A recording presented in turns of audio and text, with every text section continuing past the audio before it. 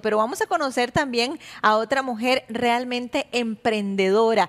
¿Por qué? Porque hace unas delicias de Dios Padre y Señor nuestro. Y es que ya a esta hora, aquí no se le antoja un pasito casero, por ejemplo. No, vea, con un agua dulcita, con un chocolatito, con un cafecito. Chayito, ¿dónde está nuestro cafecito? No, no, vea, eh, eh, eso es crueldad. Vea nada más. Dice que me tiene escondido. Vea lo que se ve ahí detrás suyo. Ay, vea, la esa empanadita ahí en proceso con el, dulce de leche. Ay, bueno, Dios vea. santo. Estas delicias salen de la mano de Ketsia.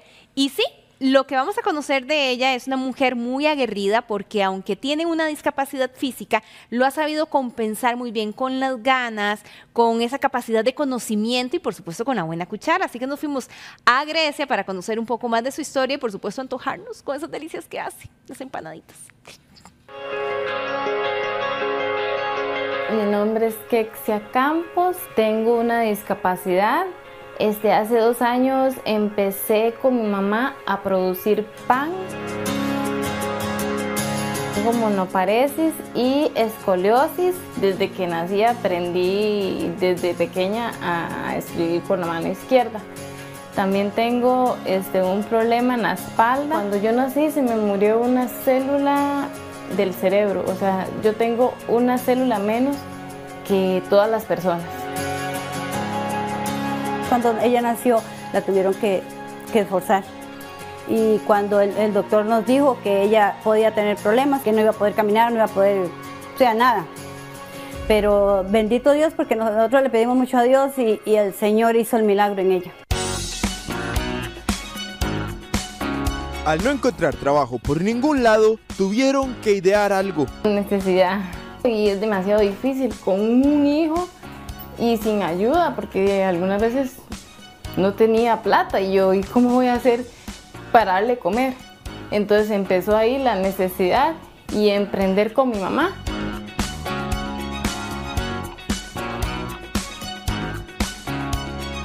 Ella eh, aprendió a hacer repostería, yo mermeladas, entonces nos juntamos y empezamos a hacer el emprendimiento y salir a las calles a vender. Siempre salimos, así llueva, truene, haga sol, eh, estamos ahí constantes.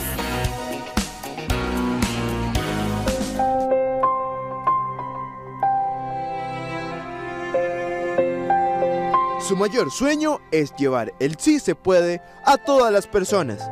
La meta es tener nuestra propia panadería, eh, darle empleos a los igual personas como yo que les cuesta demasiado conseguir trabajo y ya adquirir para, digamos, ya ser una, una empresa familiar. O sea, que todos se amen y se quieran como familia.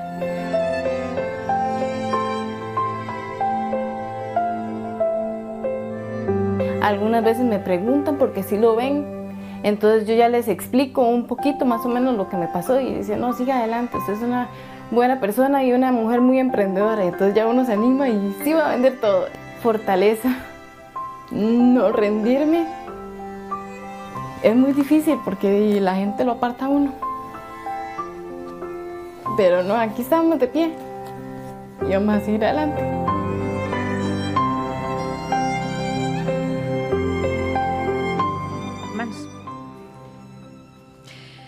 Bueno, estábamos comentando acá que la fuerza de voluntad que caracteriza a Ketsia, yo digo que traspasa la pantalla y estoy segurísima que ha tocado muchísimos corazones qué fuerza se le siente cuando habla. Y sí, fue una nota muy conmovedora, pero que nos demuestra que se puede salir adelante. Eso sí, es lamentable y las cosas hay que decirlas como son.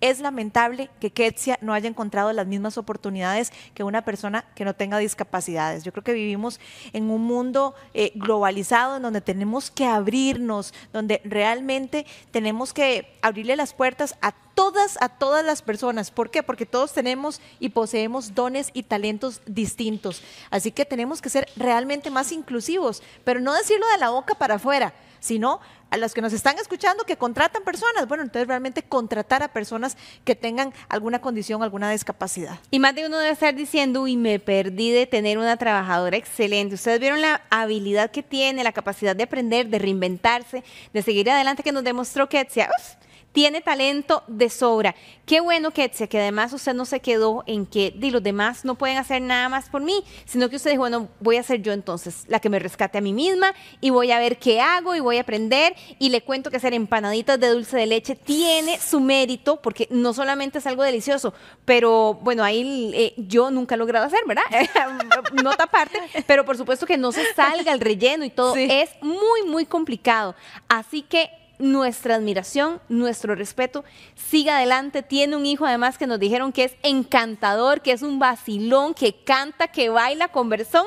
Así que bueno, qué dicha que tiene esos motores a su mamá cerquita para poder decirle sí a la vida, yo puedo, de pronto hay, que, hay puertas que se cierran, pero yo misma soy capaz de abrirme yo solita mis puertas. Hay un propósito grande detrás de su vida, Ketsia, y vea eh, eh, lo que está haciendo por su hijo también y la manera en cómo lo está inspirando.